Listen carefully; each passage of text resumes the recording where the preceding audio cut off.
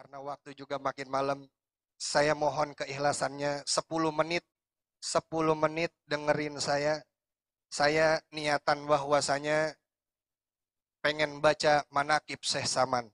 Yang mana ini adalah satu dawaman daripada orang tua saya, satu dawaman daripada kakek saya ketika mendapatkan sebuah kegembiraan, ketika mendapatkan sebuah kebahagiaan, Allah Subhanahu wa dari Allah Subhanahu wa taala, beliau senang untuk membacakan daripada manakib Tuan Syekh Muhammad Saman. Beliau adalah Gausul Zaman, penolong di setiap zaman. Yang mana saya mendapatkan keberkahan daripada membaca manakib Tuan Syekh Muhammad Saman ini, buktinya sangat amat luar biasa.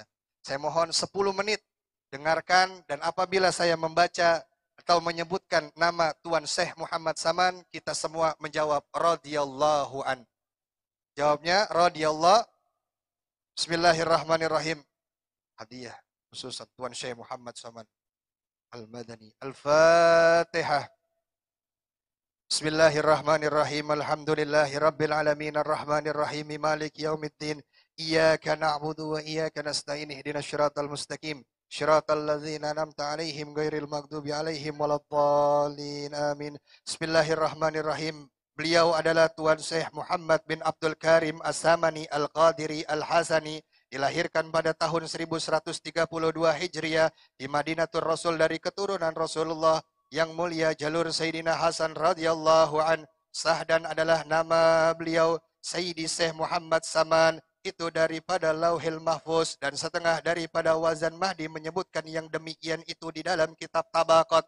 Bagi Sayyidi Ahmad Asar Nubi maka lihatlah di dalam kitab tabakotnya itu adalah tabiat Sayyidi Sesaman radhiyallahu an kasih sayang kepada orang yang talibul ilmi dan kepada orang yang saleh dan kepada orang yang fakir dan miskin dan lagi pula suka berkhidmat kepada orang yang ziarah ke makam Rasulullah daripada orang yang alim dan orang yang saleh daripada orang yang awam dan khawas adalah tabiat Zaidi Syekh Muhammad Saman radhiyallahu an. Selagi kecil hingga pada hat mursidnya adalah beliau sangat memuliakan kedua orang tua beliau. Lagi pula mengekalkan musyahadatul hujud dan muraqabah dan ibadah hingga beliau meninggalkan daripada adat dan melayani hawa nafsu beliau hingga daripada yang halal sekalipun dan tiadalah beliau tidur kecuali sedikit jua dan apabila diberi bantal oleh orang tua beliau maka keluh kesahlah beliau seperti orang yang sakit.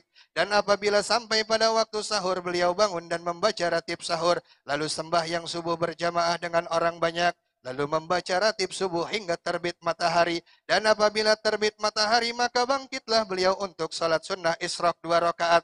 Dan apabila naik matahari seperempat maka bangkitlah beliau untuk salat duha. Dan lagi pula adalah beliau membanyakkan puasa sunnah dan riadah dan menjauhkan daripada bersedap dari lezatnya dunia sampai daripada yang halal sekalipun. Dan adalah hal ihwal ini adalah hal jaedah beliau semasa kecil beliau yakni sebelum baliknya. Dan pada masa itulah beliau disuruh orang tuanya masuk ke dalam siwan tempat makan untuk diberi makan makanan Manakala selesai makan dilihat oleh orang tuanya tempat ia makan seolah tak dimakan beliau. Dan pergilah orang tuanya kepada guru mengaji Al-Quran semasa kecilnya untuk menghobarkan hal ihwal anaknya untuk. Maka dijawab oleh gurunya, janganlah engkau takut akan anakmu itu. Tidak syak lagi bahwa ia adalah aulia Allah dan tidak hilaf lagi antara ulama dan adalah syahidi sesaman radhiyallahu an. Apabila melihat orang tuanya memakai pakaian yang indah atau memakai pakaian yang dilarang syara, maka dikatakan kepadanya, wahai orang tuaku, tidaklah suka Tuhan kita kepada orang yang bersuka di dalam dunia ini. Demikian hal ihwal masa kecil beliau, sah dan adalah Zaidi Sesaman Al-Madani. Selalu dalam zikir siang dan malam, dan suka berujlah bersunyi dari manusia dan masuk halwat dan melazimkan ziarah ke baki yaitu pekuburan para istri Rasul di Madinatul Rasul.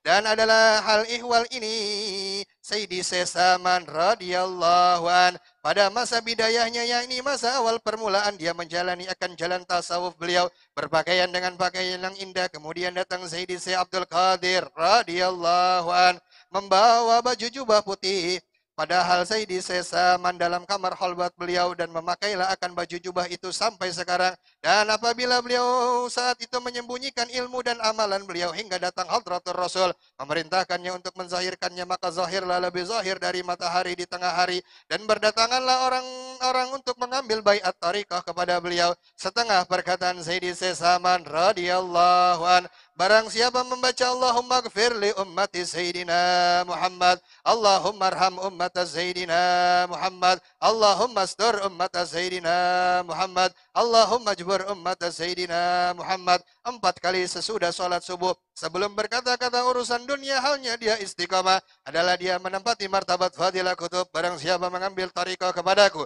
Dan mengamalkannya niscaya pasti ia akan mendapatkan rasa mazlub di dalam dunia. Diambil oleh Allah akalnya yang basyar syariah diganti dengan akalnya yang bersifat rabaniyah yang diambil oleh Allah akan rasa punya wujud dan sifat dan afal diganti dengan rasa adam mahdam adam semata. Yakni tiada punya wujud sifat dan afal melainkan hanya Allah Subhanahu wa taala yang punya wujud hakiki minimal saat sakaratul mautnya adalah perkataanku. Ini seperti perkataan Sayyidi Abdul Qadir Al-Jailani barang siapa yang menyerukan aku ya saman ya saman ya saman.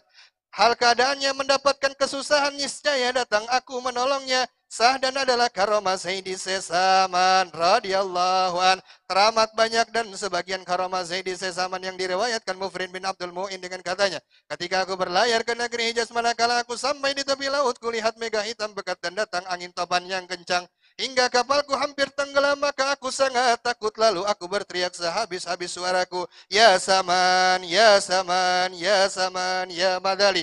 Maka tiba-tiba ada dua orang yang datang dan memegang kedua sisi kapalku Dan redalah angin topan itu serta sampailah aku ke negeri Hijaz dengan selamat. Sah dan adalah seseorang untuk dapat fadilah satu karama Allah Allah. Hendaklah ia yakin bahwa orang itu benar Allah Allah dan tidak syak sekali-kali. Dan jangan mungkir walaupun hal keadaannya menyalahi syarat khatim Ibrahim adalah syahid Saman wafat pada hari Rabu 2 Zulhijjah tahun 1189 Hijriah dan dimakamkan di Baki berhampiran dengan kubur para istri Rasulullah sallallahu alaihi wasallam.